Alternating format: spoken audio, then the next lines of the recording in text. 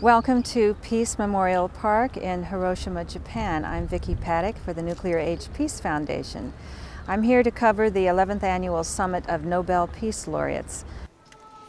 Of the six Nobelists attending the summit, three were recipients of the Nuclear Age Peace Foundation's Distinguished Peace Leadership Award Jody Williams, His Holiness the 14th Dalai Lama, and co founder of Peace People in Northern Ireland, Mairead Corrigan Maguire.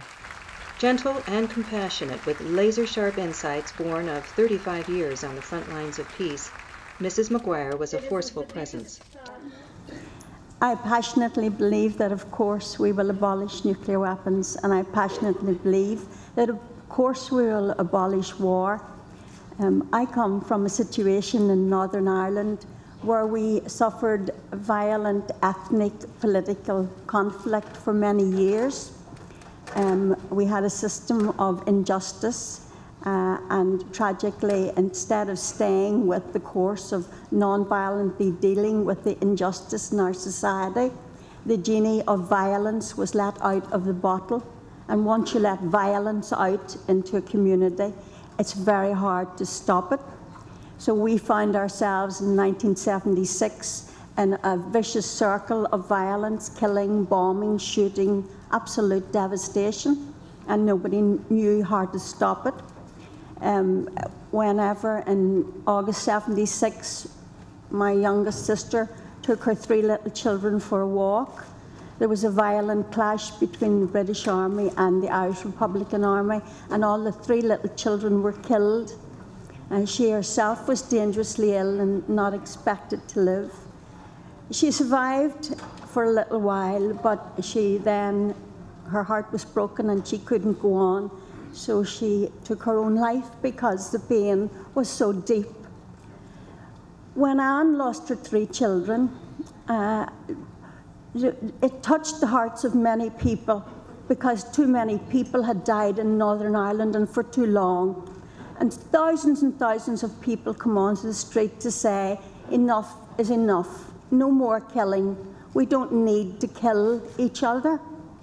I was very inspired as a young woman by the life of Dr. Nagaya, and the Japanese audience will know who Dr. Nagaya is. But for those who haven't heard of him, I would recommend that you read his life. Uh, Dr. Nagaya was uh, lived in Nagasaki. Uh, he studied uh, as a medical doctor radiation and he was in the hospital studying when Nagasaki was bombed. Uh, he stayed there to look after the, the, the victims, and when he went back to his home, he found his wife was dead and his children had been killed in the Nagasaki bombing. And Dr. Nagaya uh, then started talking about forgiveness in the immediate aftermath of losing his family he spoke of reconciliation and forgiveness. To me, Dr. Nagaya is Japan's Gandhi, totally forgiving. Because you see, life is all about suffering, we all suffer.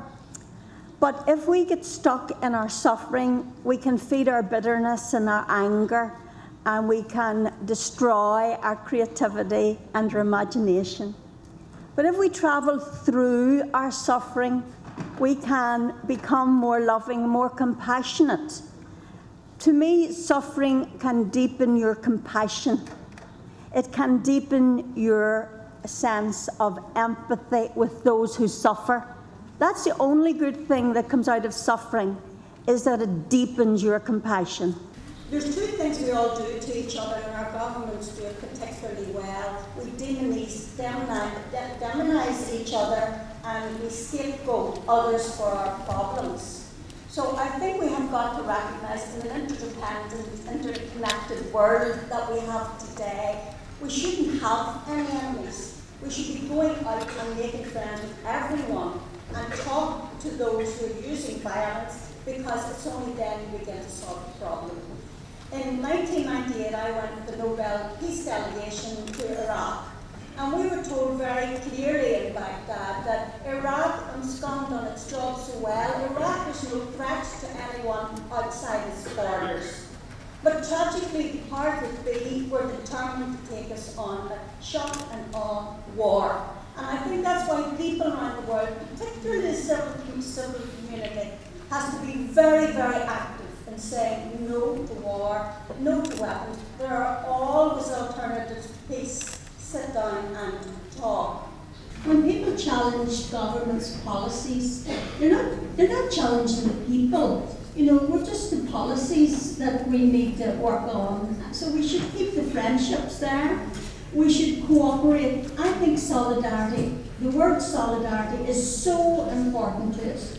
If we really could unite all the different uh, civil communities and action groups, women's groups, environment groups, human rights groups, and, and if we can unite and work together uh, on the issue of nuclear disarmament and solving our problems based on international laws and uh, not using force in order to solve our problems. You know, we have a massive, massive superpower.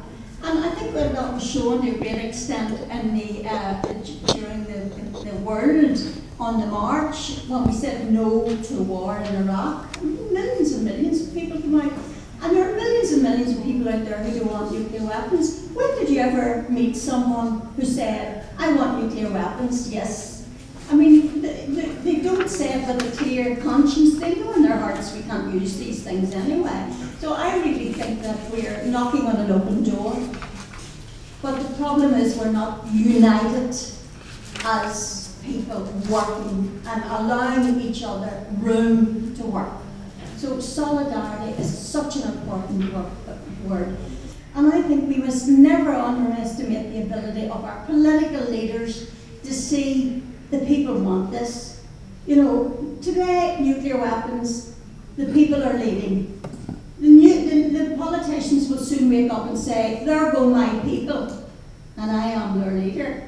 Now, we have got to create that massive shift of consciousness to say no to nuclear weapons. And I believe it's there. It's just there. We need somewhere something, a few men and women with say, let's go for it.